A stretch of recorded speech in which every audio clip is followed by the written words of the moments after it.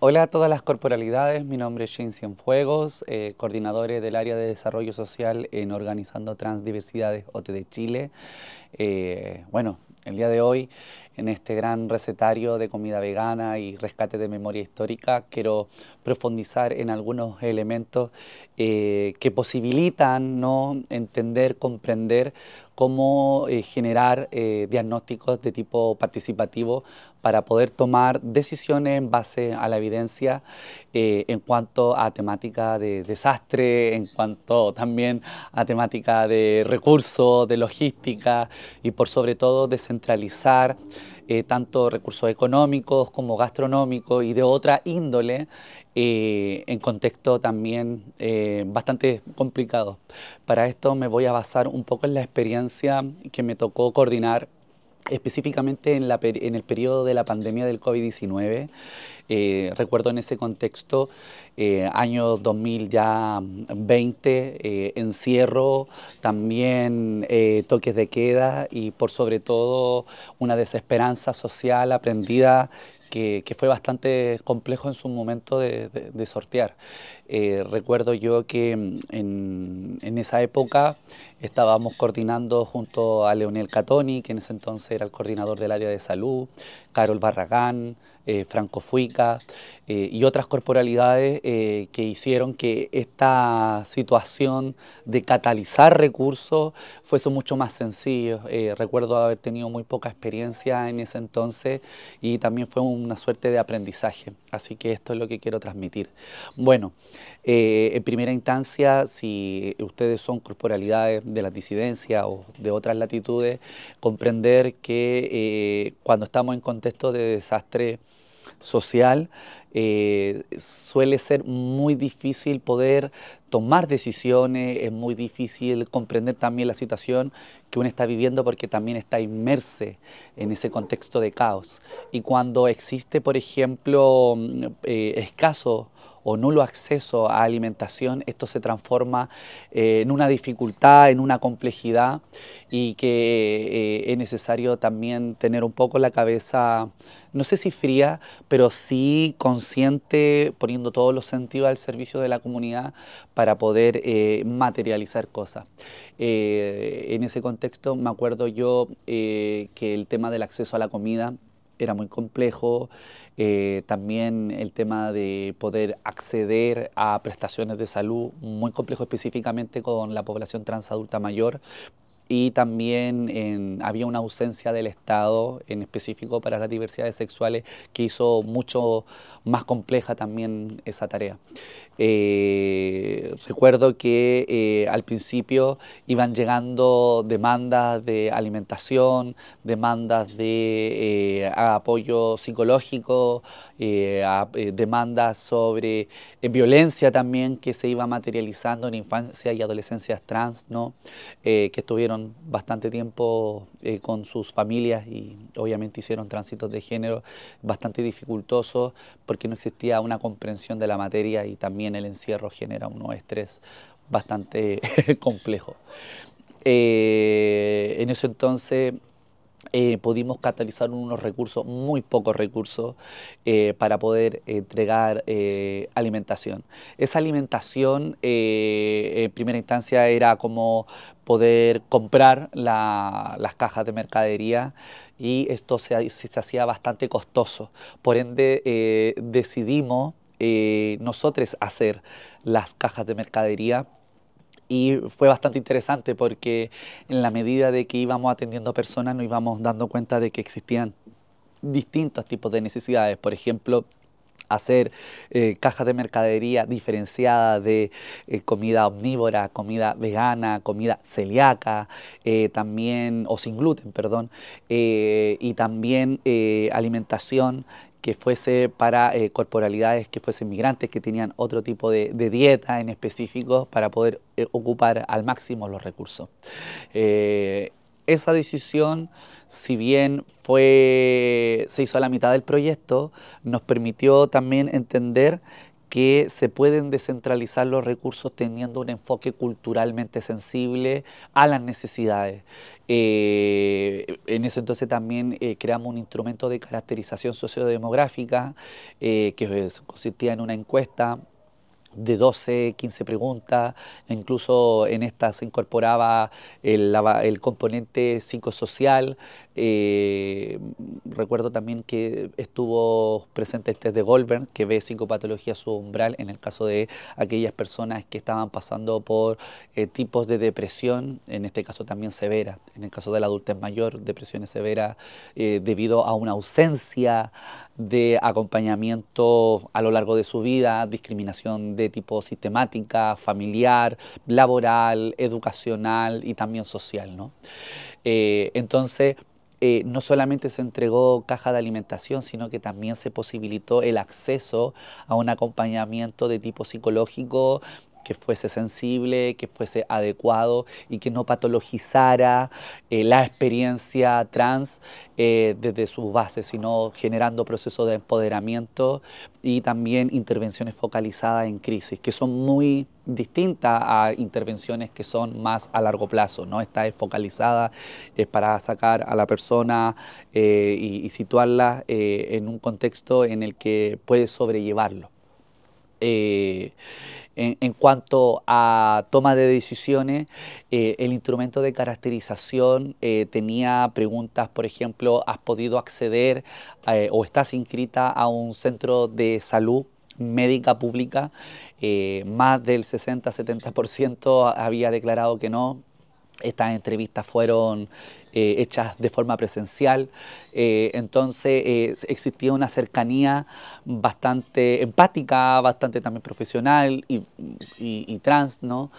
Y lo que hizo en este caso el coordinador del área de salud OTD en ese entonces fue generar un enlace directo con la Seremí de Salud, con el Ministerio de Salud, como para poder eh, eh, generar las fichas y que estas personas pudiesen atenderse. Entonces, por un lado tenemos el acompañamiento ¿no? de las cajas de, de mercadería, que es lo próximo, la, alimentación ¿no? para poder nutrir la cuerpa, este componente más psico, que es hacer este acompañamiento psicológico, eh, respetando la individualidad, respetando los proyectos de vida, no patologizando, no, no tratarlo como un trastorno eh, y generar estos procesos también de, fortalecimiento psíquico y de la cuerpa. Y por otro lado está el acompañamiento, llamémoslo más comunitario, institucional, eh, para inscribir a las personas en el centro de salud y que éstas no estuvieran desprovistas de una red de apoyo. Entonces, en esto último, quiero comentarles que para poder también eh, eh, recaudar fondos o descentralizar fondos, tenemos que pensar también en, estructuras institucionales que son mucho más establecidas y que no necesariamente son enemigas, no necesariamente hay profesionales que quieran eh, discriminarnos, si bien hay discriminación en el sistema de salud, creo que eso también a través de la lucha trans, travesti, no binaria y de otras latitudes, a través del empoderamiento, a través de un enfoque de derechos humanos, eh, ha, ido permeando y ha ido posibilitando también el que tengan una receptividad, una disposición a eh, generar estos tipos de acompañamiento. Entonces tenemos por un, por un lado las organizaciones civiles, ¿no? Eh, constituidas jurídicamente, con o personalidad jurídica, ¿no? Y también organizaciones autoconvocadas que no necesariamente tienen una estructura, digamos, jerárquica, eh, eh, más eh, anarcofeminista, pero que también tienen problemas, al igual que las organizaciones civiles, ¿no? de poder llevar a cabo materia justo en contexto de desastre social. ¿no? Entonces tenemos estas dos y tenemos este otro apartado que son las redes que son del Estado, que por un lado también hay que entender que eh, eh, eh, tener vinculación, por ejemplo, con una municipalidad es tener la vinculación con una, una red de apoyo próxima al territorio. O sea, por esencia, por excelencia, la, municipalidad tiene que ser vista, visualizada como una red de apoyo. ¿Por qué no la visualizamos como una red de apoyo? Porque en muchas ocasiones eh, la municipalidad, gobierno local se ha restado de los procesos de transformación social y creo que ahí eh, las organizaciones de todo tipo, con personalidad jurídica, sin personalidad jurídica, tienen que apostar también a ir eh, habilitando y posibilitando este cruce generacional entre personas trans, entre las disidencias, para que estas necesidades sean abordadas y sean abordadas desde un respeto. También eh, comentarle que eh, la municipalidad existen algunos eh, departamentos como Pladeco, Dideso, CEPLAN, que tienen y deberían también tener programas focalizados en los territorios. Y ahí hay que agregarle el componente de la diversidad, no como un componente solamente sexogenérico, sino un componente que simplemente integre simplemente integre por el hecho de ser ciudadanos, ciudadanas, ciudadanes, por solamente el hecho de ser un pobladores de un territorio y también ser una corporalidad que habita el territorio desde, desde su carne, desde sus pliegues, desde su eh, fortuna o desde su fracaso.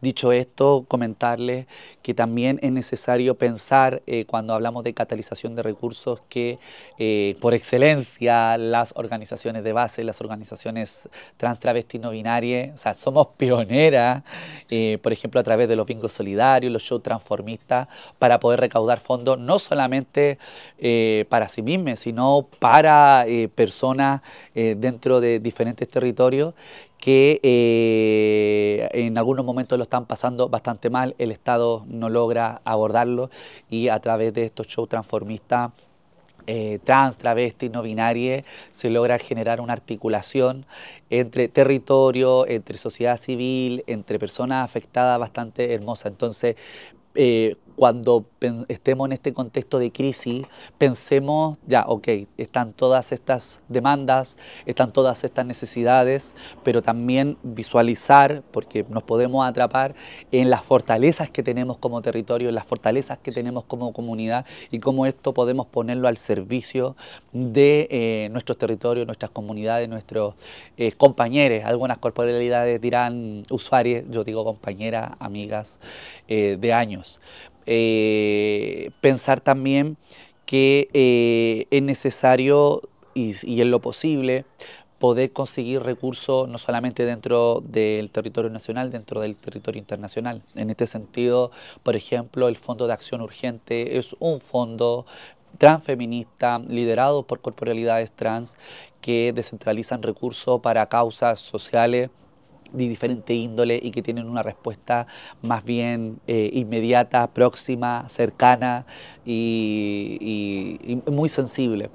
Eh, por ejemplo, con eso pudimos eh, habilitar ciertas parte de infraestructura de, este, de esta olla común llamada Fuerza Marica, que nace a partir de este macro incendio provocado por seres humanos, eh, hay que decirlo y no omitirlo en ese sentido, eh, y que a través de la gestión de un voluntariado, a través de la gestión de las redes sociales, de las personas que tienen diferentes capitales, eh, pudieron sincronizarse corporalizar también esa causa y poder eh, generar una transversalización a través de las diferentes unidades de apoyo, tanto ministeriales, municipales y de organizaciones civiles, como también eh, organizaciones autoconvocadas, para poder hacer frente a estas eh, inclemencias ¿no? socioculturales.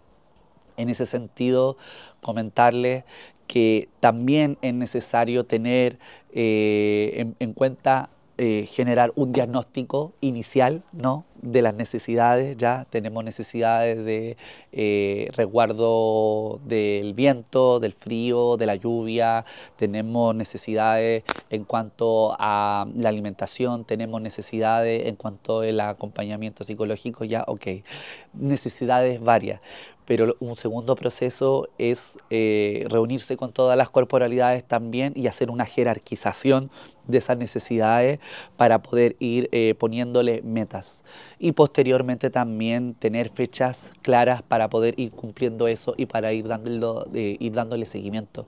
Eso nos permite tener una intervención mucho más sistematizada, más esquematizada y mucho más medible para poder alcanzar las metas que nos proponemos y poder también visualizar el impacto.